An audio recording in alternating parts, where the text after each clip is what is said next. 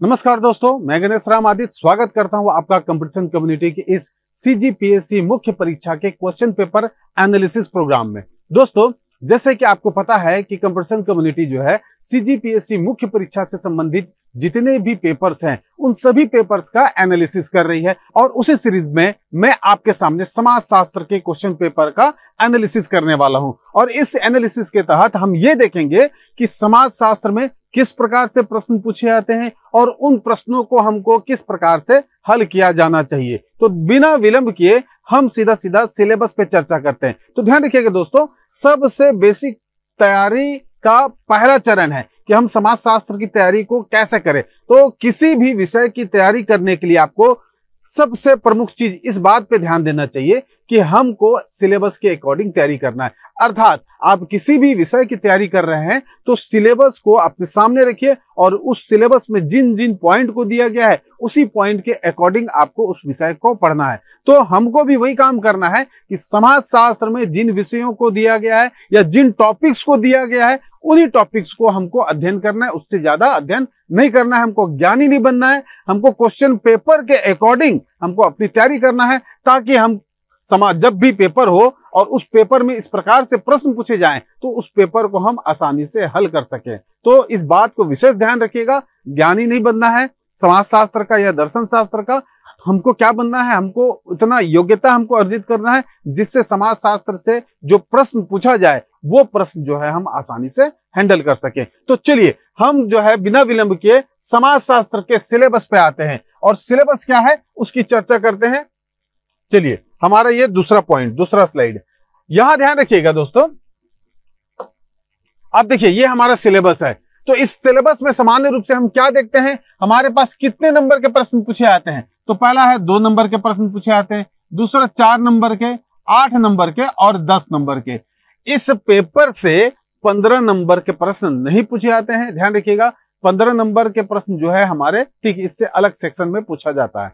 हमको फोकस करना है, ठीक दो नंबर, चार नंबर, आठ नंबर और दस नंबर। तो सबसे पहले हम इस सिलेबस की चर्चा कर लेते हैं कि कहाँ से किस प्रकार के प्रश्न पूछे जाने की संभावना है। चलिए तो ध्यान रखिएगा, जैसा कि आप देख रहे हैं समाज शास्त्र ठीक यहाँ पर सबसे पहला पॉइंट है अर्थ। अर्थात समाज शास्त्र क्या है? समाज क्या है? प्रमुख रूप से समाज शास्त्र क्या है? तो सबसे पहला प्रश्न तो यही बनता है कि समाज शास्त्र से आप क्या समझते हैं? समाज शास्त्र का अर्थ जो है क्या है? तो समाज शास्त्र का अर्थ से अगर प्रश्न पूछा जाएगा तो वो दो नंबर से ज़्यादा बड़ा का नहीं होगा। दूसरा है क्षेत्र एवं प्रकृति। क्षेत्र एवं प्रकृति ये दो नंबर में आ ही नहीं सकता। अर्थात जब भी आपको समाज शास्त्र के क्षेत्र और समाज शास्त्र की प्रकृति के बारे में प्रश्न पूछेगा, वो कम से कम चार नंबर और आठ नंबर का प्रश्न बनता है।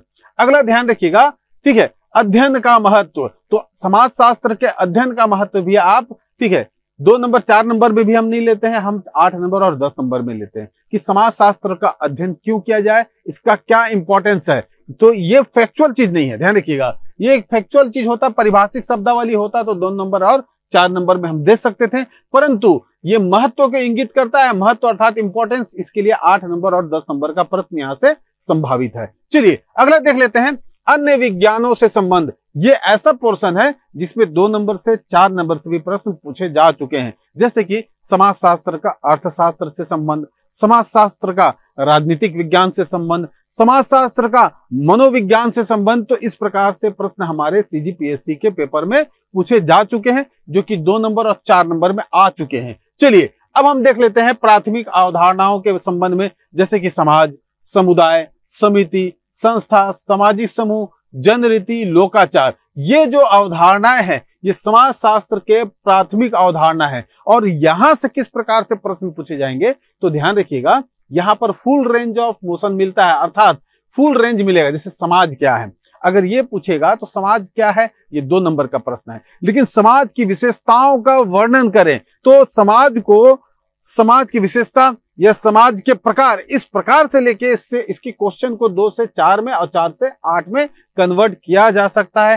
तो मतलब आपको घबराने की ज़रूरत नहीं है, क्योंकि जब भी आप समाज पढ़ेंगे तो समाज का अर्थ भी पढ़ेंगे, समाज की परिभाषा भी पढ़ेंगे, समाज के प्रमुख तत्व को भी आप वहाँ पर पढ़ेंगे और समाज की विशेषता, महत्व, ये सारी चीज़ों को पढ़ेंगे। अर्थात, अगर ये चार नंबर से आगे बढ़ता है, आठ नंबर की ओर तो उसको भी आपको हैंडल करने की क्षमता स्वतः हो जाएगी। क्यों? क्योंकि आप जब समाज पढ़ेंगे तो समाज का बाकी कंपोनेंट या बाकी एस्पेक्ट को भी आप तैयारी करेंगे। उसी प्रकार से समुदाय, समिति, संस्था, सामाजिक समूह जन रीति लोकाचार पे भी यही चीज़ें लागू होता है। तो ध्यान रखिएगा, जैसे सामान्यता जन रीति क्या है? तो ये आपका प्रश्न हो गया दो नंबर का। ठीक, अगर हम इसको थोड़ा सा बढ़ाना चाहें तो जन रीति के महत्व को बताइए। तो ये हो जाएगा आपका चार नंबर या आठ नंबर में भी ये जा सकता है।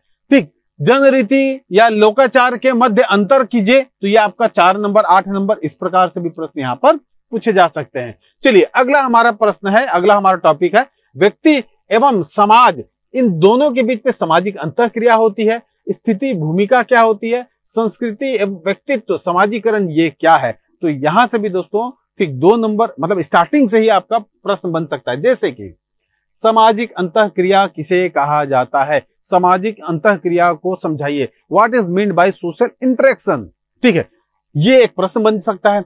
दूसरा प्रश्न हम देखें, स्थिति और भूमिका तो इंडिविजुअली भी प्रश्न पूछा जा चुका है। समाज शास्त्र में स्टेटस का क्या महत्व है? या समाज शास्त्र में स्थिति से आप क्या समझते हैं? या स्थिति को परिभाषित करें। स्थिति का मतलब होता है स्टेटस प्रश्न भूमिका से भी संबंधित प्रश्न पूछे जा चुके हैं। ठीक, भूमिका का तात्पर्य क्या है? भूमिका का अर्थ क्या है? तो यहाँ से दो नंबर के प्रश्न ऑलरेडी पूछे जा चुके हैं। ठीक है? चलिए, अब हम आते हैं हमारे अगले पॉइंट में, संस्कृति एवं व्यक्तित्व, समाजीकरण, इन दोनों को ले लेते हैं। देखिएगा, जैसे ही संस्कृति का व्यक्तित्व से जोड़ा है, अर्थात यहाँ संस्कृति से और व्यक्तित्व, इन दोनों को को रिलेट करके प्रश्न पूछेगा। ठीक, ये प्रश्न जो है, आपका चार नंबर, आठ नंबर में संभावित है। क्यों? क्योंकि परिभाषित शब्दावली के रूप में अगर पूछेगा, जैसे कि आपसे ये पूछ दे, संस्कृति क्या है? तो ये दो नंबर का बनता है। ठीक है, व्यक्तित्व तो क्या है? तो ये दो नंबर का बनता है। लेकिन यहाँ अगर संस्कृति एवं व्यक्तित्व को जोड़ेगा कि किस प्रकार संस्कृति व्यक्ति के व्यक्तित्व का निर्धारण करती है। या ये भी हो सकता है कि किस प्रकार की संस्कृति में, यानी किसी भी स्पेसिफिक संस्कृति में, किसी भी व्यक्ति का व्यक्तित्व किस प्रकार से बनता है, ठीक, इन दोनों के को रिलेशन करके पूछेगा आपसे तो ये आपका, ठीक, चार नंबर से भी आगे जा सकता है। आठ नंबर में ज़्यादा अच्छे तरीके से ये जस्टिफाई होता है। चलिए दोस्तों, अब हम देख लेते हैं अगला टॉपिक हमारा, हिंदू सामाजिक संगठन। जैसे ही हम हिंदू सामाजिक संगठन की बात करते हैं तो धर्म पुरुषार्थ वर्ण व्यवस्था इन सारी चीज़ों की बात करते हैं साथ ही साथ आश्रम व्यवस्था। तो यहाँ पर मैं आपको यह बताऊँ कि जैसे कि धर्म आश्रम वर्ण और पुरुषार्थ ये जो शब्द हैं इन शब्द को परिभाषा के रूप में पूछा जा सकता है दो नंबर में। धर्म का तात्पर्य क्या है? पुरुषार्थ का तात्पर्य क्या है? आप वर्ण व्यवस्था से क्या समझते हैं? पुरुषा आप, आप आश्रम व्यवस्था से क्या समझते हैं? तो ये प्रश्न जो है दो नंबर और चार नंबर दोनों में बनता है। लेकिन यहाँ पर कुछ ऐसे सेक्शन है जैसे कि आश्रम हो गया। ठीक है? जैसे कि हमारा पुरुषार्थ हो गया। ये दो ऐसे पॉइंट है यहाँ पर ध्यान रखिएगा। आश्रम ये जो आश्रम है और ये जो पुरुषार्थ है यहाँ से थोड़े बड़े प्रश्न पूछे जाने की संभावना है। जैसे कि ठीक आश्रम व्यवस्था क्या है? इसका भारतीय पर, मतलब परंपरागत भारतीय समाज में क्या महत्व था? ठीक पुरुषार्थ व्यवस्था क्या है? इसका परंपरागत भारतीय समाज में क्या महत्व था? इस प्रकार से यहाँ पर थोड़े ब्रश बड़े प्रश्न पूछे जा सकते हैं। आइए अब देखते हैं सामाजिक स्तरीकरण क्या है। What is mean by social stratification अर्थात समाज में जो सामाजिक अंतर पाया जाता है, ठीक, जैसे कि कोई उच्च वर्ग का है, कोई निम्न वर्ग का है, कोई निम्न मध्य वर्ग का है, इस प्रकार से समाज में अलग अलग वर्ग पाए जाते हैं। तो ये है क्या? समाज में इस प्रकार की व्यवस्था का क्रिएशन क्यों हुआ है? इसका क्या इंपॉर्टेंस है? तो सबसे पहला तो यही से आपसे प्रश्न पूछा जाएगा कि सामाजिक स्तरीकरण है क्या? ठीक है, अगर इसको परिभाषिक शब्दावली के रूप में पूछा जाएगा तो दो नंबर। जैसे ही आपसे ये पूछा जाए कि सामाजिक स्तरीकरण क्या है, इसके महत्व को समझाए तो वो चार नंबर और आठ नंबर में जा सकता है। ठीक है चलिए, अब हम देखते हैं सामाजिक स्तरीकरण के अंतर्गत हमारे सिलेबस में जाति और वर्ग नामक दो अवधारणा को दिया गया है। तो इंडिविजुअली जाति क्या है, वर्ग क्या है, इस प्रकार से दो नंबर, चार नंबर भी ये दोनों प्रश्न पूछे जाते और पूछे गए भी हैं। लेकिन ये जो जाति और वर्ग है, इसके निर्धारण, निर्धारक कारक के रूप में अगर प्रश्न पूछेगा तो वो प्रश्न जो है आठ नंबर में और दस नंबर में भी जा सकता है। तो ध्यान रखिएगा, ये ऐसा पॉइंट है जो काफ़ी बड़ा है। जाति क्या है जाति का भारतीय समाज में क्या महत्व है? ठीक, जाति का निर्धारक तत्व क्या है? क्या जाति जो है कभी नहीं जाती? क्या जाति को परिवर्तित कर सकते हैं? क्या जाति जो है, ठीक है, एक वर्तमान समाज में या वर्तमान वर्तमान आधुनिक समाज के हिसाब से इसकी क्या प्रासंगिकता है? तो इस प्रकार से प्रश्न पूछे जा सकते हैं। नेक्स्ट हमारा टॉपिक है, सामाजिक प्रक्रियाएँ अर्थात सोशल प्रोसेसेस ध्यान रखिएगा, सामाजिक प्रक्रिया के अंतर्गत हमें पढ़ना है, सामाजिक अंत क्रिया सहयोग, संघर्ष और प्रतिस्पर्धा। तो ध्यान रखिएगा, पहला पॉइंट तो प्रश्न वही है कि what is mean by social processes अर्थात सामाजिक प्रक्रियाएँ क्या है? तो समाज में होने वाले विभिन्न प्रकार के जो चीज़ें हैं, जैसे कि सहयोग, संघर्ष, प्रतिस्पर्धा, इन्हीं चीज़ों को हम सामाजिक प्रक्रियाएँ के नाम से जानते हैं। जैसे कि मान लीजिए, आपसे यहाँ से यह प्रश्न पूछेगा, सहयोग क्या है, संघर्ष क्या है, प्रतिस्पर्धा क्या है? तो पहला तो इन तीनों का दो नंबर, चार नंबर में इस प्रकार से प्रश्न बनेगा इसके परिभाषिक शब्दावली के हिसाब से। सहयोग क्या है? सहयोग के प्रमुख तत्वों को बताएँ। ठीक, संघर्ष क्या है? समाज में संघर्ष को समझाएँ। ठीक है, प्रतिस्पर्धा क्या है? अर्थात ये तो दो नंबर, चार नंबर में ये बन गया, लेकिन इससे आगे भी प्रश्न बन सकता है। जैसे सहयोग क्या है? वर्तमान समाज में सहयोग के प्रमुख तत्वों का आप वर्णन करें। संघर्ष क्या है? संघर्ष का प्रकार क्या है? What is functional aspect of conflict ये भी प्रश्न पूछा जा सकता है। Functional aspect of complete sorry functional aspect of competition या कहना चाहिए कंफ्लिक्ट ये कंफ्लिक्ट होता है। अब आपसे ये भी प्रश्न पूछा जा सकता है कि संघर्ष का अर्थात कंफ्लिक्ट का कंपटीशन से क्या संबंध है? व्हाट इज़ डिफरेंस बिटवीन संबंध का मतलब बेसिक रूप से डिफरेंस में प्रश्न पूछेगा। What is difference between conflict and competition clear है? चलिए, आगे बढ़ते हैं। सामाजिक नियंत्रण, सामाजिक परिवर्तन। ये ऐसा पोर्शन है ठीक है, जहाँ से बड़े बड़े प्रश्न पूछे जाने की संभावना है। अब ध्यान रखिएगा, सबसे पहला चीज़ है सामाजिक नियंत्रण के साधन एवं अभिकरण। अर्थात सबसे पहला प्रश्न यही बनता है कि सामाजिक नियंत्रण का अर्थ क्या है। दूसरा, सामाजिक परिवर्तन का अर्थ क्या है, या सामाजिक परिवर्तन को किस प्रकार से परिभाषित किया जा सकता है। यानी दो नंबर और चार नंबर का प्रश्न जो है आपको इस रूप से मिलेगा। अब आ जाइए आगे। जैसे कि सामाजिक नियंत्रण के साधन एवं अभिकरण पूछा, ये आपका जंप कर गया आठ नंबर और दस नंबर में। अर्थात जो सोशल कंट्रोल है, इसके क्या क्या साधन है क्या क्या एजेंसीज है? ठीक है तो ये प्रश्न आपका बड़े नंबर में पूछा जाएगा तो आपको उसी प्रकार से डील करना है। कैसे डील करना है? ठीक, एक विशेष फॉर्मेट को मैं आपको बाद में बताऊँगा, सबसे लास्ट में। चलिए, अब हम देख लेते हैं, सामाजिक परिवर्तन की प्रक्रियाएँ एवं कारक, ये भी आपका बड़ा प्रश्न बनता है। आठ नंबर और दस नंबर में ये प्रश्न पूछे जा सकते हैं। सोशल जो चेंजेस हैं, इनके प्रोसेसेस क्या है, किस प्रकार से सोशल चेंज होते हैं और इसके फैक्टर्स क्या है? ठीक, इन दोनों पे भी आपका जो प्रश्न पूछेगा, वो बड़े प्रश्न पूछे जाने की संभावना है। चलिए, अब देखते हैं हमारा अगला पॉइंट है, भारतीय सामाजिक समस्याएँ तो ध्यान में रखिएगा दोस्तों, समाज में हम समाज शास्त्र का अध्ययन इसलिए करते हैं कि समाज में जो सामाजिक समस्याएँ हैं, सामाजिक प्रॉब्लम्स हैं, उन सारी चीज़ों को हम जाने। ठीक है?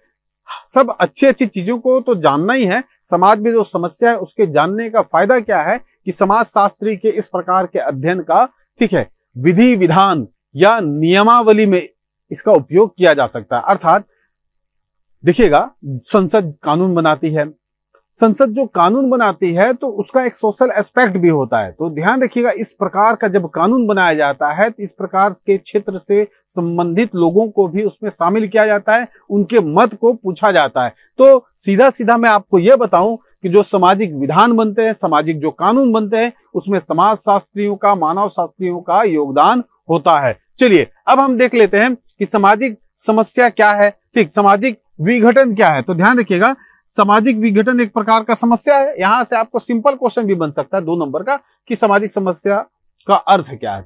सामाजिक विघटन का अर्थ क्या है? लेकिन अगर सामाजिक विघटन के अर्थ के आगे प्रश्न पूछेगा तो वो आपका आगे तक जा सकता है। जैसे कि सामाजिक विघटन को समझाइए। ठीक, वर्तमान समय में किस प्रकार से सामाजिक विघटन हो रहा है और इस विघटन को रोकने के क्या क्या उपाय दिए जा सकते हैं? तो ये बड़ा प्रश्न बन गया। अब आइए, इसी के अंतर्गत ध्यान रखिएगा। ठीक, नियमहीनता, अलगाव, विषमता, इसी के अंतर्गत दिया गया है। नियमहीनता का अर्थ क्या है? अलगाव का क्या अर्थ है? विषमता का क्या अर्थ है? ये दो नंबर और चार नंबर के प्रश्न यहाँ से बन रहे हैं, लेकिन इससे आगे के भी प्रश्न यहाँ से बन सकते हैं कि समाज में अलगाव होता है। उस अलगाव को समाप्त करने के क्या क्या उपाय हैं? ठीक है, समाज में विषमता पाई जाती है तो इस प्रकार के सामाजिक विषमता को समाप्त करने के क्या क्या उपाय हैं?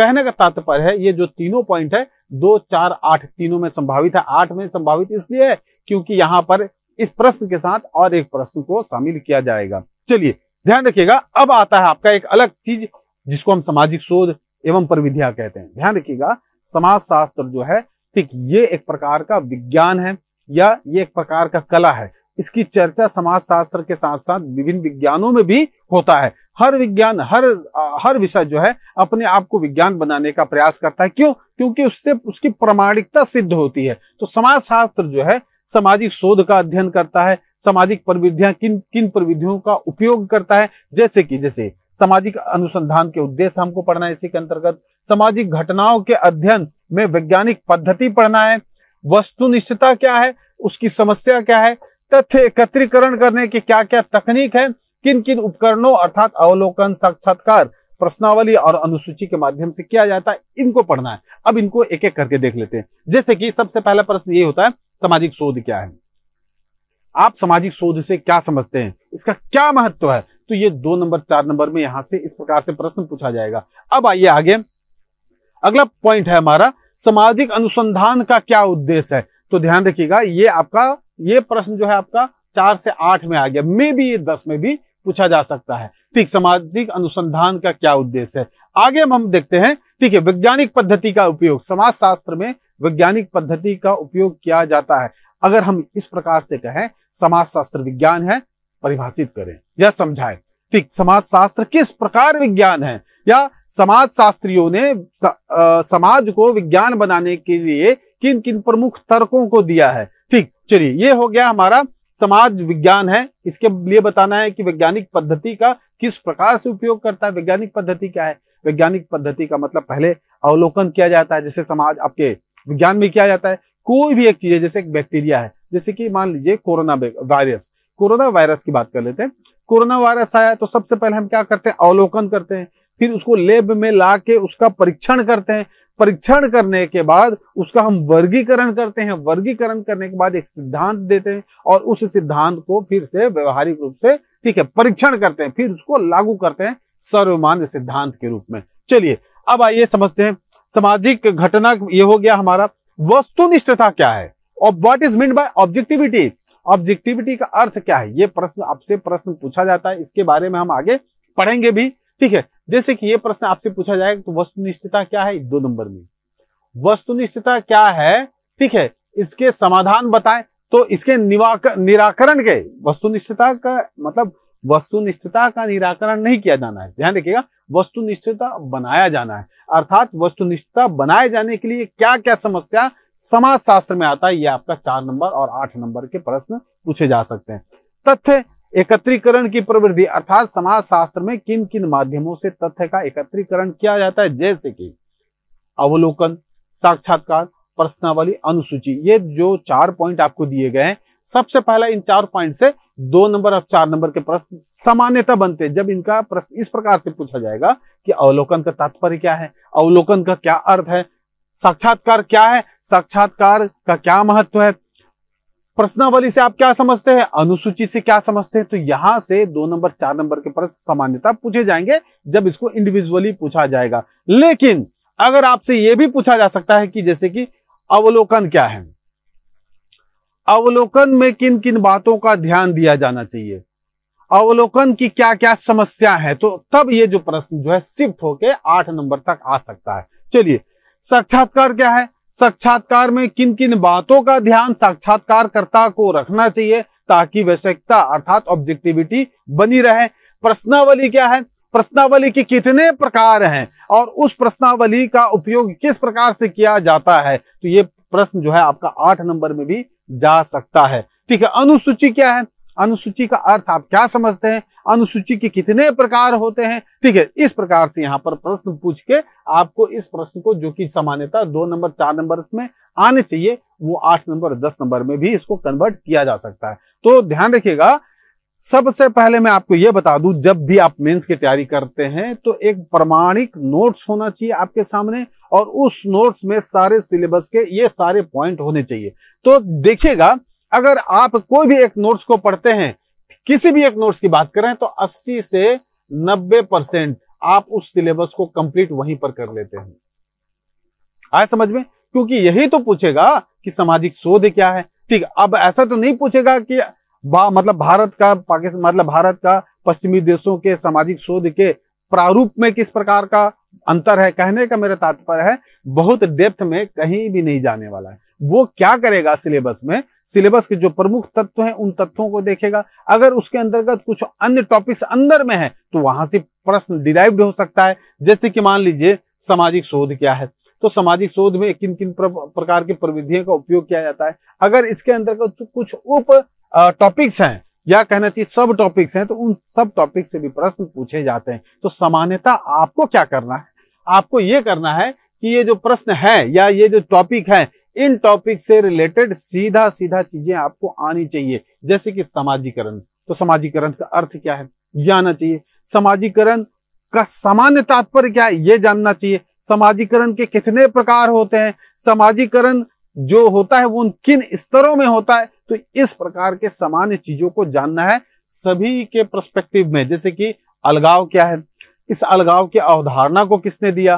किस परिप्रेक्ष्य में दिया? ठीक है, इस अलगाव का क्या महत्व है वर्तमान सामाजिक समाज वर्तमान समाज में? तो इस प्रकार के प्रश्न जो है सामान्यता पूछे आते हैं। तो इस प्रकार हमने इस क्वेश्चन पेपर में, यानी कहना चाहिए सिलेबस में, हमने ये देख लिया कि कहाँ से किस प्रकार के प्रश्न पूछे जाएँगे, दो नंबर, चार नंबर, आठ नंबर और दस नंबर में। ठीक, दो, चार, आठ, दस में। अब हम आ जाते हैं, हम देखते हैं कि विगत वर्ष के प्रश्न जो है किस प्रकार से आए थे। तो अगला हमारा टारगेट है कि हम क्वेश्चन पेपर को देख लें कि किस प्रकार से प्रश्न पूछे गए हैं। चलिए तो आपके सामने ये एक क्वेश्चन पेपर है।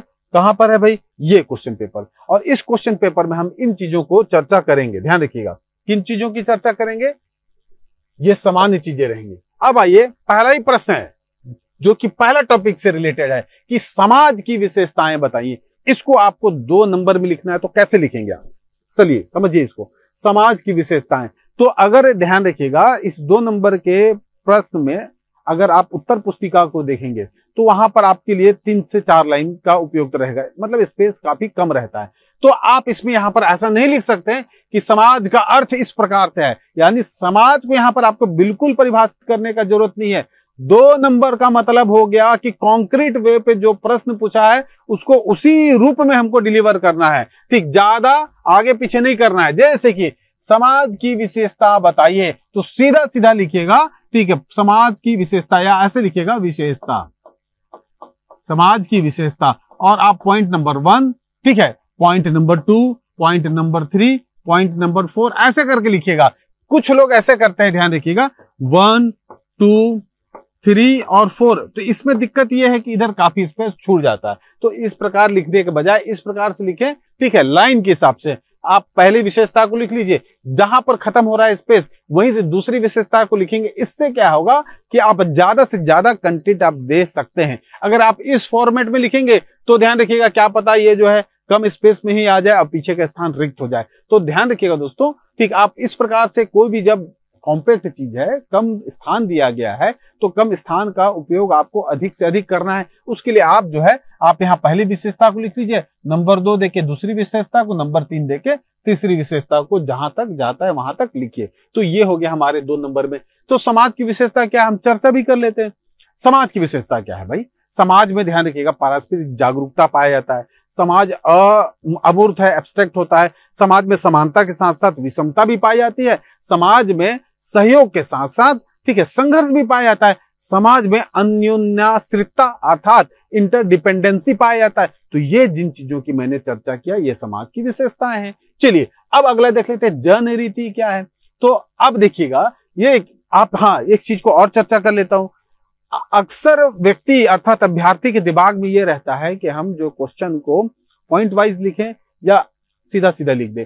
तो वो क्वेश्चन की प्रकृति भी, भी निर्भर करती है ध्यान रखिएगा। जैसे कि अभी हमने बताया समाज की विशेषता क्या है? हाँ तो भाई इस विशेषता में आप इस प्रकार से पॉइंट आराम से डालिए।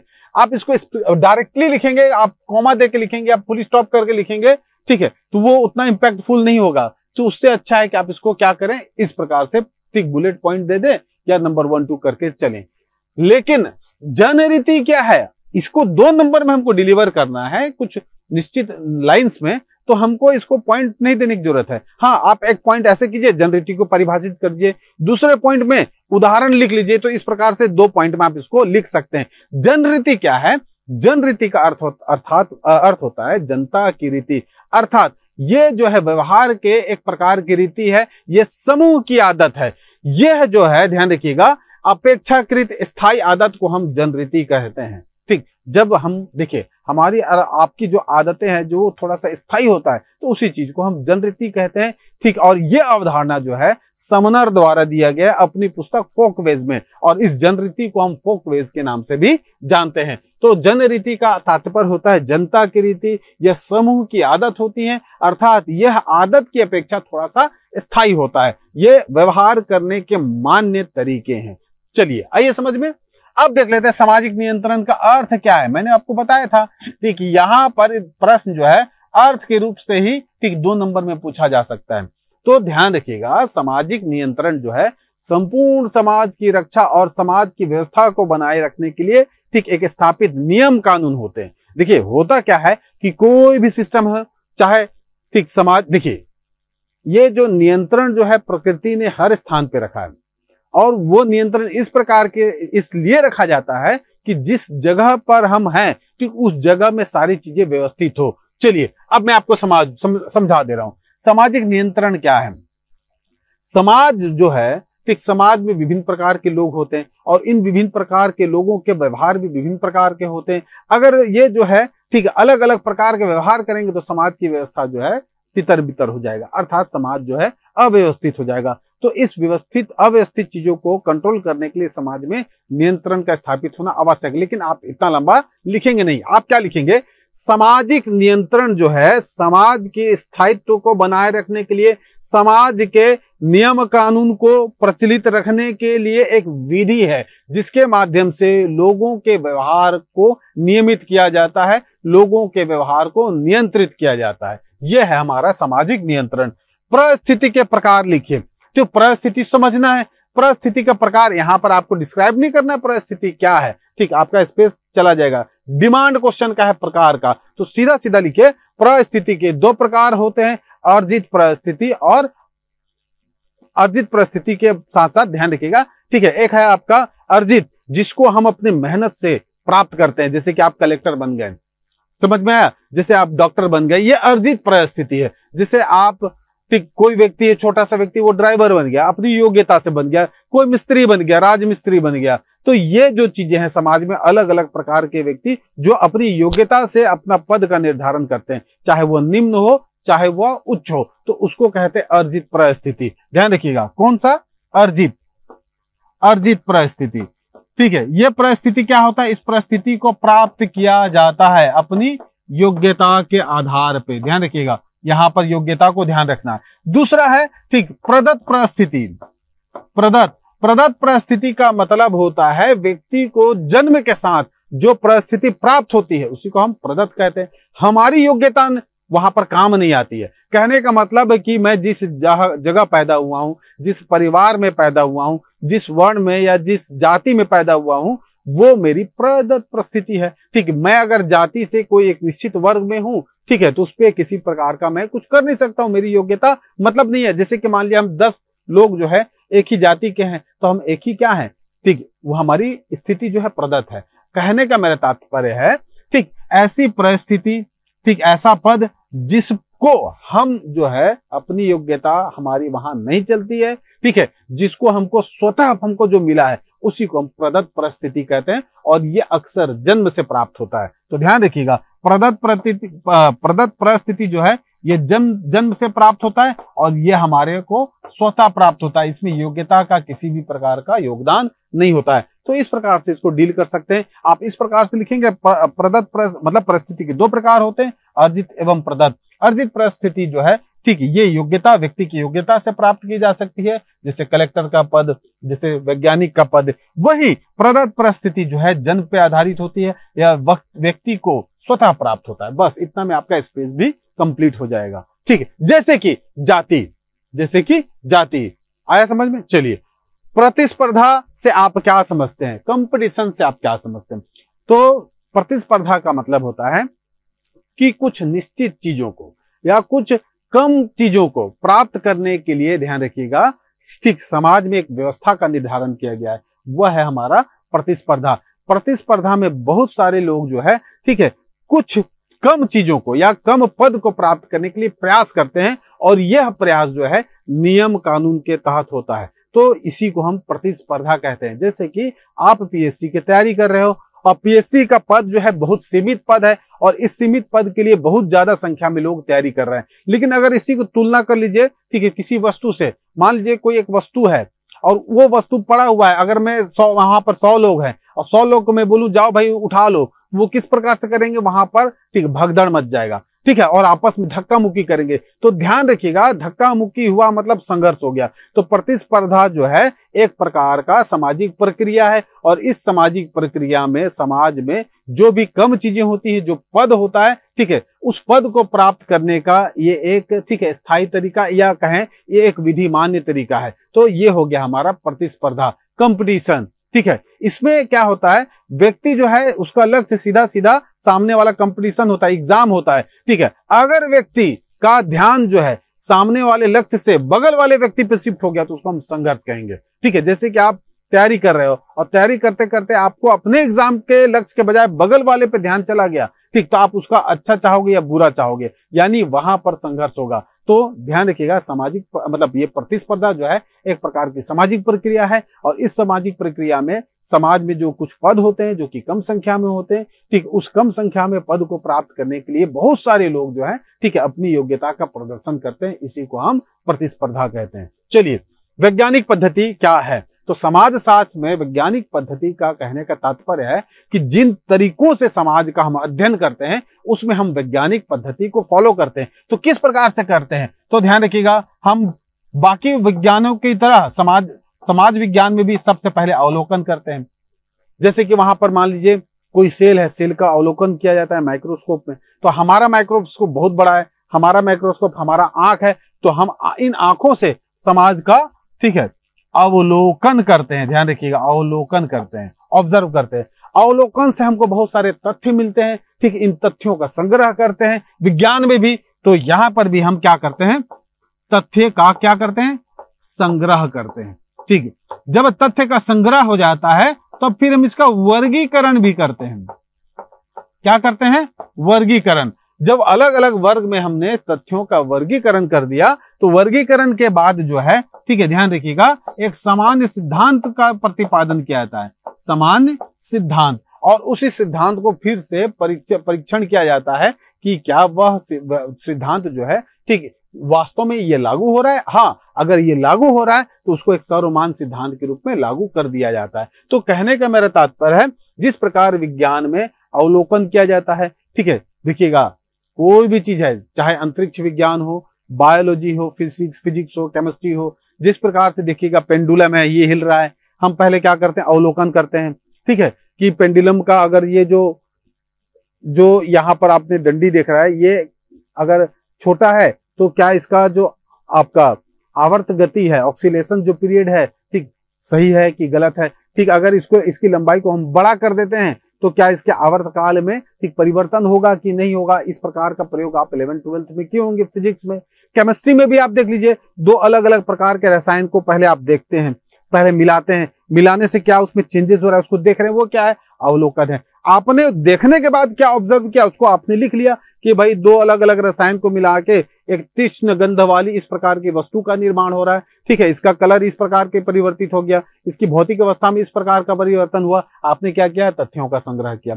तथ्यों को संग्रह करने के बाद इस प्रकार से बहुत सारे आपने प्रयोग किया। तो फिर उसको आपने वर्गीकरण किया कि समान गुण के आधार पे या समान लक्षण के आधार पे इसको इस कैटेगरी में रखना है, इसको इस कैटेगरी में रखना है। उसके बाद आपने प्रत्येक कैटेगरी वाइज आपने उसका वर्गीकरण करने के बाद एक सिद्धांत का प्रतिपादन किया। तो इसी प्रकार से, जिस प्रकार से विज्ञान में, ठीक है, इन टूल्स का यूज़ किया जाता है, समाज में भी उसी प्रकार का टूल्स का यूज़ किया जाता है। इसी को हम वैज्ञानिक पद्धति कहते हैं। लिखना कैसे है? दो नंबर में। तो वैज्ञानिक पद्धति क्या है? तो जिस प्रकार से विज्ञान में अवलोकन अवलोकन के माध्यम से तथ्य संग्रह तथ्य संग्रह के बाद से उन्हीं तथ्यों का अलग अलग वर्गीकरण और उन्हीं वर्गीकरण के बाद में एक सामान्य सिद्धांत का प्रतिपादन किया जाता है तो इसी प्रक्रिया को हम वैज्ञानिक पद्धति कहते हैं। ठीक, और इस पद्धति में ध्यान रखिएगा, ठीक है, क्या पाया जाता है? ऑब्जेक्टिविटी पाया जाता है। ऑब्जेक्टिविटी पाया जाता है। ठीक, यानी वस्तु निष्ठता पाई जाती है और वस्तु निष्ठता ही विज्ञान, वैज्ञानिक पद्धति की सबसे प्रमुख देन है। ठीक है, इसमें व्यक्ति का मन में क्या है, हमको क्या अच्छा लग रहा है, इससे कोई मतलब नहीं है। अर्थात वस्तु का, वस्तु के सापेक्ष अध्ययन ही वस्तु निष्ठता है, वही वैज्ञानिक पद्धति है। चलिए, ये हो गया, अब हम बढ़ते हैं आगे के प्रश्नों में। आगे के कुछ प्रश्न आप ध्यान रखिएगा, इस प्रकार से हैं। ठीक है, जैसे कि, ये, पुरुषार्थ का सामाजिक महत्व क्या है? ये चार नंबर का है। तो सबसे पहले एक लाइन में आप पुरुषार्थ होता क्या है, उसको लिख लीजिए, फिर उसके महत्वों का वर्णन करिए। ठीक है, चलिए दूसरा ध्यान रखिएगा, नियम, जैसे कि अब मैं बता दूँ पुरुषार्थ क्या है। ठीक तो पुरुषार्थ का अर्थ क्या होता है ध्यान रखिएगा। ठीक, इसको आप पहले उसको डिफाइन करिए।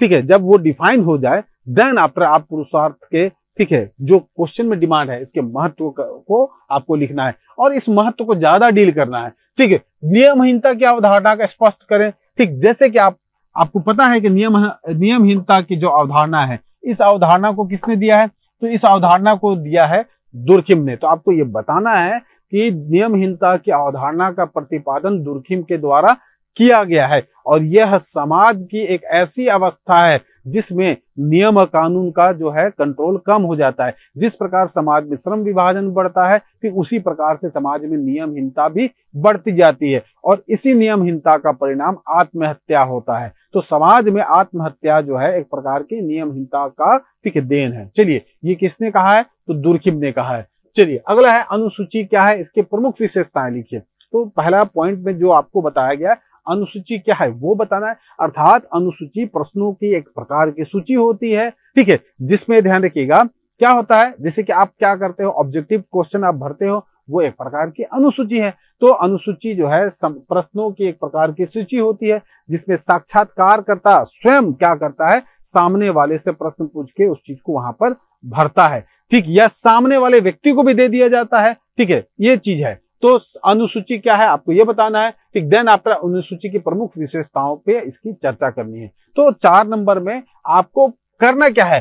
ठीक है अगर जैसे अनुसूची क्या है, आपने अनुसूची को डिफाइन कर लिया। ठीक, दो लाइन में। उसके बाद आप पैराग्राफ चेंज करके आप नंबर वाइज दे सकते हैं, इसकी प्रमुख विशेषता क्या क्या है। तो मैं आपको इस प्रकार से फॉर्मेट से आपको ये बता दे रहा हूँ कि इस प्रकार का फॉर्मेट का आपको पालन करना है। चलिए, आगे बढ़ते हैं अगले प्रश्न पे। ठीक, क्योंकि प्रश्न का आंसर बताने के बजाय हम उसके फॉर्मेट पे चर्चा करें तो ज़्यादा अच्छा है। चलिए, फॉर्मेट, अगला फॉर्मेट हम देख लेते हैं। धर्म। कुछ प्रश्न को हल भी कर लेंगे छोटे मोटे प्रश्न को, क्योंकि हल करेंगे, समय ज़्यादा लगेगा, आपके पास भी समय नहीं है। ठीक, धर्म की अवधारणा को स्पष्ट कीजिए तथा इसके समाज शास्त्रीय महत्व का वर्णन करिए। तो कभी भी आप जो है लंबे प्रश्न को बनाने से पहले क्या कीजिएगा, पेन से मार्क कीजिएगा। अवधारणा को स्पष्ट करना है तो सबसे पहले अंडरलाइन अवधारणा।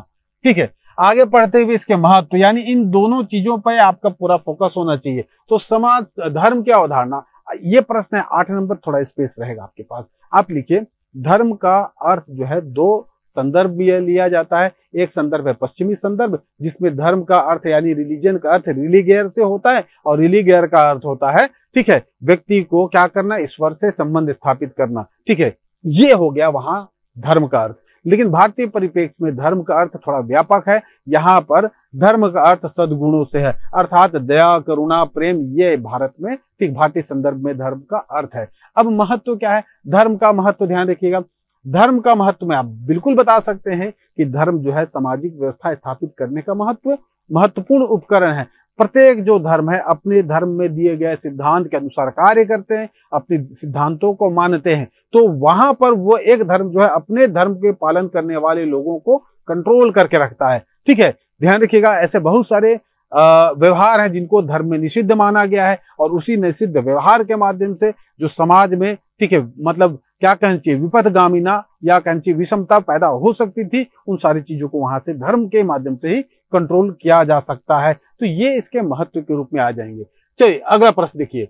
वस्तुनिष्ठता से आप क्या समझते हैं? सामाजिक अनुसंधान में वस्तुनिष्ठता वस्तुनिष्ठता की समस्या को स्पष्ट कीजिए। हमको यहाँ पर क्या बताना है? क्या है? यानी वस्तुनिष्ठता क्या है? पहले इसकी चर्चा कर लेते हैं। What is mean by objectivity objectivity का अर्थ क्या होता है? जैसे कि मान लीजिए मार्कर है। ये मार्कर क्या है? इसका वर्णन मैं करूँगा। तो जो ये है, उसी इसी के सापेक्ष में मैं अध्ययन करूँ कि हाँ भाई ये ब्लैक है। हाँ ये इसकी लंबाई जो है पाँच इंच है। ठीक है, इसका कार्य है लिखना। तो ये क्या हो गया? ये ऑब्जेक्टिविटी अध्ययन हो गया। अब मुझको अच्छा लग रहा है, यार ये काला है अच्छा नहीं लगा, इसको हरा होना चाहिए। ठीक है तो मैंने क्या किया? अपनी विचारधाराओं को थोप दिया। तो अपनी विचारधारा को थोपना आत्मनिष्ठता कहलाता है। ठीक है वहीं पर अप, जो वस्तु जैसा है, उसका उसी परिप्रेक्ष्य में अध्ययन वस्तुनिष्ठता कहलाता है। तो वस्तुनिष्ठता विज्ञान की प्रमुख देन है, ठीक और आपको किसी भी विषय को अगर विज्ञान बनाना है तो वस्तुनिष्ठता का पालन किया जाना आवश्यक है। कहने का तात्पर्य आप लिखेंगे क्या तो आप लिखेंगे कि किसी भी विषय को विज्ञान बनाने के लिए वस्तु, वस्तुनिष्ठता प्रमुख वस्तु है या वस्तुनिष्ठता प्रमुख पद्धति है। वस्तुनिष्ठता का अर्थ ये होता है कि जो व्यक्ति या जो वस्तु जैसा है, उसका उसी परिप्रेक्ष्य में अध्ययन किया जाना चाहिए। ठीक है? यही वहाँ, यही पर आपको वैज्ञानिक पद्धति का, ठीक है, नज़र नज़रिया दिखाई देता है। ठीक है? जैसे कि मान लीजिए, अगर हम तितली का अध्ययन कर रहे हैं, अब मैं तितली का अध्ययन में लिख दूँ कि ये हरा रंग का तितली है, मेरे को मज़ा नहीं आ रहा है तो ये क्या है आपका? ठीक है, आपका अपना नज़रिया अपना नज़रिया नहीं डालना है। ठीक, जो वस्तु जैसा है, उसका उसी परिप्रेक्ष्य में अध्ययन करना है। ठीक है, सामाजिक अनुसंधान में वस्तुनिष्ठता की समस्या। ये समस्या है भाई, जैसे कि, ठीक है, वस्तुनिष्ठता की समस्या, ये क्या है मैं बता दे रहा हूँ। चलिए, वस्तुनिष्ठता की समस्या का अर्थ यह होता है कि कभी कभी जो अध्ययन करता होता है, जैसे कि मैं मान लो समाज शास्त्र का अध्ययन करता हूँ, मैं किसी चीज़ का अध्ययन करता हूँ, ठीक है मेरे कुछ मूल्य है, मेरी कुछ मान्यता है, मेरी कुछ सोच है, अगर व्यक्ति का यही मूल्य, यही मान्यता, यही सोच उस अध्ययन में आ जाए, ठीक तो उसी को हम क्या कहते हैं? वस्तुनिष्ठता की समस्या कहा जाता है कि व्यक्ति जो है अपने अनुसार, अपने चीज़ों को, अपनी मूल्यों के अनुसार उस चीज़ को जज करना लग जाता है। तब इस चीज़ को हम कहते हैं सामाजिक अनुसंधान में जो जो वैशिकता है, जो ऑब्जेक्टिविटी है, उसमें समस्या उत्पन्न हो गई है, ठीक है? तो इसी, इसकी, इसका हल भी किया जा सकता है, इसका हल इस प्रकार से है कि समाज शास्त्र में उन्हीं व्यक्तियों को, उन्हीं समाज शास्त्रियों को अध्ययन के लिए भेजा जाना चाहिए, जो तटस्थ रह सकते हैं। ठीक है, और इसके लिए प्रशिक्षण दिया जाना चाहिए। तटस्थता बनाए रखना एक बहुत ही महत्वपूर्ण चीज़ है। बिना तटस्थ अध्ययन के आप वस्तुनिष्ठ अध्ययन नहीं कर सकते। मगर मतलब जैसे कि एक ऐसे व्यक्ति को आप नहीं भेज सकते हो। ठीक है, जैसे कि मान लीजिए कुछ मामले संवेदनशील होते हैं। ठीक है, उस संवेदनशील मामलों में आप ऐसे व्यक्ति को नहीं भेज सकते हो जो एक निश्चित प्रकार का मत बना के चलता है, ये चीज़ सही है या ये चीज़ गलत है। तो आपको बड़ा सिंपल सा है यहाँ पर वस्तुनिष्ठता क्या है, इससे आपको क्या समझते हैं, यहाँ पर आपको डिफिनेशन देना है पैराग्राफ चेंज करके आपको ये पहले बताना है कि वस्तुनिष्ठता की समस्या क्या है। तो समस्या में बता चुका हूँ, ठीक है, अब सेकेंड पैराग्राफ में आपको वही पर स उदाहरण उदाहरण सहित इन सारी चीज़ों को देना है। तो ये हो गया हमारा ठीक है क्वेश्चन पेपर एक एक वर्ष का ये क्वेश्चन पेपर है। इस प्रकार से हम यहाँ पर ये देखते हैं कि इस प्रकार से प्रश्न पूछे जाएँगे, आपको इस प्रकार से हैंडल किया जाना। आठ नंबर का है, दस नंबर का जो प्रश्न है, ठीक है, ज़्यादा कुछ अलग नहीं है। इन्हीं प्रकार की चीज़ें बस वहाँ पर आपको शब्द सीमा ज़्यादा दे दिया गया है। जैसे कि सामाजिक परिवर्तन का अर्थ बताइए। तो पहला आपका काम है कि एक एक पैराग्राफ में आप ये बताएँगे कि सामाजिक परिवर्तन होता क्या है। ठीक है सामाजिक परिवर्तन होता क्या है? समाज में आपको किन किन स्थानों पर इस प्रकार का परिवर्तन देखने को मिलता है? आप ये बताएँगे कि परिवर्तन क्या होता है। ठीक है, अब देखिए दूसरा जो इसका पार्ट है, वहाँ पर यह बताया गया है कि सांस्कृतिक सिद्धांतों की, ठीक यानी सामाजिक परिवर्तन के सांस्कृतिक सिद्धांतों की विवेचना करें। अर्थात ये सामाजिक परिप्रेक्ष्य या सामाजिक परिवर्तन के केवल एक संदर्भ को पकड़ रहा है, सांस्कृतिक संदर्भ को। तो हमको पहले पैराग्राफ में इस चीज़ को बताना है कि सामाजिक परिवर्तन हो, है क्या? सामाजिक परिवर्तन किस प्रकार से होता है और आपके दूसरे पैराग्राफ में जाके ये बताना है कि सामाजिक परिवर्तन में सांस्कृतिक जो चीज़ें हैं, वो किस प्रकार से प्रभावी है या किस प्रकार से लागू होती है, जैसे कि सामाजिक परिवर्तन के सांस्कृतिक सिद्धांतों की विवेचना करना है। ठीक है तो जो सांस्कृतिक सांस्कृतिक सिद्धांत है, उनको यहाँ पर व्याख्या करना है। ठीक, आठ नंबर, दस नंबर से केवल इस बात के लिए यह रहता है कि आप वहाँ पर थोड़ा व्याख्या करने का छूट ज़्यादा है। चलिए, अगला आ जाइए। सामाजिक समस्या क्या है? भारतीय समाज में महिलाओं से संबंधित प्रमुख सामाजिक समस्याओं का विवेचन करिए। तो सबसे पहले आप इसको डिफाइन करेंगे। सामाजिक समस्या क्या है? तो समाज जो है, एक संगठन है। ठीक है? और उस संगठन में बहुत सारे लोग होते हैं। ठीक, संगठन का मतलब जिस प्रकार हमारा ये शारीरिक संगठन है। आ रहा समझ में? ठीक अलग अलग अंग हैं। वो अलग अलग अंग अलग अलग प्रकार के कार्य कर रहे हैं। उसी प्रकार समाज भी सामाजिक संगठन है, समाज में बहुत सारे लोग हैं, बहुत सारी संस्था है, वो सारे चीज़ें अपने अपने निर्धारित कार्य को करते हैं। लेकिन कभी कभी क्या होता है कि हमारे हाथ में दर्द हो जाता है, कहीं पर बीमारी हो गया। उसी प्रकार समाज का अगर कोई एक अंग, एक पार्ट फ़ंक्शन नहीं करता है, ठीक है, या अपने निर्धारित कार्य से अलग कार्य करता है तो उसी को कहते हैं सामाजिक समस्या। अर्थात सामाजिक समस्या समाज में उत्पन्न होने वाली वह समस्या है, जिससे सामाजिक संगठन को ठीक है हानि पहुँचती है। सामाजिक संगठन टूटने का डर होता है तो उसी चीज़ को हम सामाजिक समस्या के नाम से जानते हैं। जैसे वेश्यावृत्ति समस्या है, जैसे मद्यपान समस्या है, ठीक, जैसे भ्रष्टाचार समस्या है। ये क्या है? समाज तो है, समाज में एक आपका बीमारी है वेश्यावृत्ति, एक बीमारी है मद्यपान, एक बीमारी आजकल युवाओं में इस प्रकार का नशीलापन ज़्यादा देखने को मिल रहा है, ठीक है? तो ये चीज़ें क्या है? तो ये चीज़ें आपके समाज की समस्या है। वास्तव में ये सारी चीज़ें आपके समाज के संगठन को बिखेर सकती है इस सामाजिक ताने बाने को तोड़ सकती है। तो पहले में आपको ये बताना है, लेकिन यहाँ पर हमको दूसरे पॉइंट में बता रहे हैं, महिलाओं से संबंधित प्रमुख सामाजिक समस्या। हम यहाँ पर किस चीज़ की चर्चा करेंगे? हम ये बताएँगे, महिलाओं की सामाजिक समस्या है वेश्यावृत्ति, ठीक है? और ये वेश्यावृत्ति जो समस्या है, किस, किसी निश्चित वर्ग की महिलाओं को है। जैसे परित्यक्त महिला, जो डाइवर्सिटी महिला होती है ऐसे लोग होते हैं जो बहुत सारे ऐसे महिला होती है जिनको घर से निकाल दिया जाता है। ठीक, वो समाज में, ठीक है, कहीं भी रहते हैं तो उन वो महिलाएँ जो मजबूरी में अपनी आजीविका अपनाने के लिए किसी भी प्रकार से अपने आप को मतलब जीवित रखने के लिए इस प्रकार की चीज़ों को वो पालन करती है। आज ये दूसरे पॉइंट में, घरेलू हिंसा, ये भी एक प्रकार का क्या है? सामाजिक समस्या महिलाओं से संबंधित है। तो आप बताइए, घर के बाहर तो इस प्रकार की चीज़ें हैं। घर के अंदर भी बहुत सारी चीज़ें हैं। घर के अंदर, घर के महिलाएँ जो है विभिन्न प्रकार से प्रताड़ित है। जैसे कि सामाजिक, आपका जैसे कि हम किसी की चर्चा कर रहे थे। हाँ हम चर्चा कर रहे थे, ठीक है, घरेलू हिंसा की। तो घरेलू हिंसा के आपके बारे में एक पॉइंट लिखना है उस पॉइंट को आपको एक्सप्लेन करना है। अब आइए बच्चों में, महिला बच्चों में, ठीक है, महिला बच्चों में भी आप ध्यान रखिएगा, ठीक है चाइल्ड टेरिफिंग होता है, ठीक, यानी चाइल्ड का बच्चों का, ठीक है, व्यापार होता है, और उस व्यापार में, ठीक, जो महिला, जो बच्चे होते हैं, ठीक है, इनके अंग का भी क्या कर दिया जाता है ठीक है डोनेशन मतलब डोनेट कर रहा हूँ। इसके अंग को भी, इसको व्यापारी लोग जो है, ठीक है डॉक्टर लोग क्या करते हैं चेंज कर देते हैं। कहने का मेरा तात्पर्य अंग दान के नाम से या इनके अंगों को तस्करी के रूप में प्रयुक्त किया जाता है। तो महिला से संबंधित बहुत सारे ऐसे एस्पेक्ट हैं। महिला से संबंधित आप ला सकते हैं कि महिला शिक्षा, ठीक, महिलाओं को बहुत सारे ऐसे समाज है, ठीक, जिस समाज में महिला शिक्षा को प्रोत्साहित नहीं किया जा रहा है। ठीक, ध्यान रखिएगा समान रूप से महिला जो है बहुत आगे बढ़ चुके हैं। इनका स्तर जो है शिक्षा का बहुत अच्छा हो चुका है। ठीक, महिलाएँ जो अब आई अधिकारी बन रही है, वैज्ञानिक बन रही है, ठीक है। लेकिन समाज का एक ऐसा तबका भी होता है जहाँ पर महिलाओं को सामाजिक शिक्षा या शिक्षा नहीं दिया जा रहा है। दिया जा रहा है तो उस स्तर तक का नहीं दिया जा रहा है, उसको उस योग्य नहीं माना जा रहा है। तो ये भी महिलाओं से संबंधित महिलाओं से संबंधित सामाजिक समस्या है।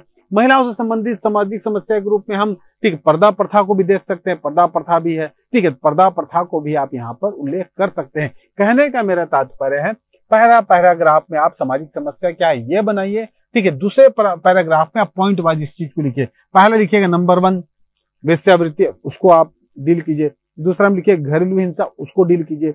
तीसरा पॉइंट लिखिए, उसमें लिखिएगा शिक्षा, उसको डील कीजिए। चौथा पॉइंट लिखिए, उसके बाद उसको डील कीजिए। और लास्ट में कंक्लूजन में आप देखिए कि आधुनिक परिवेश में, आधुनिक समाज में जहाँ पर पूरे विश्व में आप इस प्रकार से हमको देखने को मिलता है, ठीक चाहे वो सामाजिक क्षेत्र हो, राजनीति के क्षेत्र में हो, आर्थिक क्षेत्र में हो, जैसे सामाजिक क्षेत्र में हम बोले तो बहुत सारे सामाजिक कार्यकर्ता जो महिला के रूप में ठीक दिखाई देती हैं, ठीक है? उनको बड़े बड़े पुरस्कार मिलते हैं देश के नाम पे। सामाजिक सामाजिक के बाद राजनीतिक नाम पे देखिए, बहुत सारे ऐसी महिलाएँ हैं, ठीक, जो प्रमुख राज्य के मुख्यमंत्रियाँ हैं। ठीक, उन सारे नाम लेके आप वहाँ पर चीज़ को डिस्क्राइब कर सकते हैं। वैज्ञानिक क्षेत्र में देखिएगा ठीक है कमर्शियल बिज़नेस क्षेत्र में दिखेगा, इंदिरा नूई है। ठीक, इस प्रकार से बहुत सारी महिलाएँ जिनका आप नाम ले सकते हैं। अंतरिक्ष के क्षेत्र में दिखेगा कल्पना चावला गई थी, ठीक है, अब सुनीता विलियम्स गई थी, भारत से संबंधित जो है, या कहीं भी, केवल भारत का उदाहरण आप नहीं लेंगे, तब भी चलेगा। आप बाहर के भी एग्जाम्पल्स ले लें, लेकिन भारत का उदाहरण लेंगे तो ज़्यादा उपयुक्त रहेगा। तो इस प्रकार से उदाहरण सहित आप अपने आंसर को प्रासंगिक बनाइए वर्तमान परिप्रेक्ष्य में। कुल मिला के मेरा तात्पर्य है कि जो चीज़ें हैं वो आपको आती हैं। सामाजिक समस्या क्या है ये आपको पता है। सामाजिक परिवर्तन क्या है ये आपको पता है। आपको फोकस करना है क्वेश्चन के डिमांड को क्वेश्चन क्या है उसको आपको थोड़ा सा ध्यान रखना है। हाँ क्या है तो हमको यही बताना है। इससे ज़्यादा हमको नहीं बताना है। भारतीय समाज में महिलाओं से संबंधित है हाँ, तो महिला के बारे में बताना है। पुरुष समस्या को नहीं लिखना है। तो हमने इस सेशन में ये देख लिया कि किस प्रकार से प्रश्न पूछे जा रहे हैं, ठीक और इन प्रकार के, इस प्रकार के प्रश्नों को हमको किस प्रकार से हैंडल करना है, ठीक है। कुल मिला के दोस्तों, ध्यान रखिएगा, सब चीज़ पता होने के बावजूद व्यक्ति कहाँ पर पिछड़ता है? अभ्यास में। आप पूर्व पूर्व वर्ष के प्रश्नों को लीजिए प्रीवियस ईयर क्वेश्चन पेपर को लीजिए उसको बैठिए और उसको सॉल्व कीजिए। लेकिन ये जो सॉल्व करते हैं within a limited time में कीजिए। ऐसा नहीं कि दिन भर में हम कहीं जाके एक पेपर को, ठीक है, हल कर रहे हैं। दिन भर में करेंगे तो आपके पास बहुत सारे आइडियाज़ आएँगे अलग अलग समय में। लिमिटेड टाइम में, कम समय में, ठीक है, निर्धारित समय में, ठीक है, ध्यान रखिएगा, कोई भी एक प्रश्न को पढ़ के, ठीक है, उसको हल करना है कि योग्यता आपको विकसित करना है। ऐसा नहीं कि आप पाँच घंटे का समय में ले, ठीक ऐसा नहीं करना है। आप तीन घंटे का आप टाइमर सेट कीजिए अपने घड़ी में और उस तीन घंटे को एज ए एग्ज़ाम के तरीके से लिखिए। और उसको पहले तो खुद भी एग्जामिन कीजिए या अपने दोस्तों से अपने टीचर से भी एग्जामिन कराइए और वहाँ से फीडबैक लीजिए कि इसमें किस प्रकार से सुधार किया जा सकता है। फिर उस फीडबैक को अप्लाई करते हुए उसी प्रश्न पत्र को फिर से एक बार लिखिए तो निश्चित रूप से ध्यान रखिएगा थोड़ा बेहतर तरीका बनेगा। ठीक है और इस बेहतर तरी, तरीके में आपको आंसर डिलीवरी जो आप कर रहे हैं ठीक उसमें भी सुधार मिलेगा। तो ये छोटी छोटी चीज़ें हैं, इन चीज़ों को अप्लाई कीजिए। टेस्ट सीरीज़ बिल्कुल दीजिए। टेस्ट सीरीज़ जो है आपको एक संस्थागत तरीके से होता है। ठीक है, हमारे एकेडमी में भी होता है। तो इस प्रकार से टेस्ट सीरीज़ देने का फ़ायदा ये होगा कि आपको उस तीन घंटे या उस समय, निर्धारित समय में, ठीक है, आपको प्रश्न बनाने का आदत डल जाएगा। बहुत सारे अभ्यर्थी ऐसे होते हैं कि उनका प्रश्न छूट जाता है। तो ये समस्या अभी यहाँ पर निराकरण हो जाएगा। कहने का मेरा तात्पर्य फिर से वही है कि मैच है तो मैच को केवल मैच में ही नहीं खेलना, उससे पहले भी आप घर में प्रैक्टिस कर ले। तो बस यही है, बहुत ज़्यादा कुछ करना नहीं होता है, कुछ निश्चित चीज़ों को ध्यान में रखना है और एक आपको बना के चलना है कि हम इन इन चीज़ों को हमको अपने अध्ययन में फॉलो करना है। कोई भी चीज़ को पढ़ रहे हैं तो उसको अपना बेंस के परस्पेक्टिव से भी पढ़िए, प्री के भी परस्पेक्टिव से पढ़िए। लेकिन ये जो विषय है, जिसकी बात हम कर रहे हैं, जैसे कि हम बात कर रहे हैं समाज शास्त्र का, ये केवल मेंस में जब मेंस का आप करेंगे तो ये कंसेप्चुअलाइजेशन है। तो इसका डिस्कशन भी आप कर सकते हैं। अपने दोस्तों के साथ एक ग्रुप बनाइए जिसमें आप पूछिए परिवार क्या है विवाह क्या है नातेदारी क्या है ठीक है सामाजिक संगठन किसको कहते हैं। तो जब ये सारी चीज़ें आप सुन सुन के बोल बोल के अभ्यस्त हो जाएँगे तो कम से कम एग्ज़ाम हॉल में ये होगा कि आपके पास दिमाग में जो आइडिया है जल्दी आ जाएगा। कंपेरेटिवली जो इस प्रकार का काम नहीं करता है। अब बात आई लिखने का तो लिखने का भी, आप भी आपको अभ्यास करना है इस चीज़ की चर्चा हम पहले कर चुके हैं। तो बस दोस्तों इन्हीं चीज़ों को आप फॉलो कीजिए ठीक है, आपका पेपर अच्छा जाएगा। बस फिर यही पर हम इस वीडियो इस सेशन को कंप्लीट करते हैं। अगले वीडियो अगले सेशन के साथ फिर से हाजिर हूँ तब तक के लिए धन्यवाद, नमस्कार।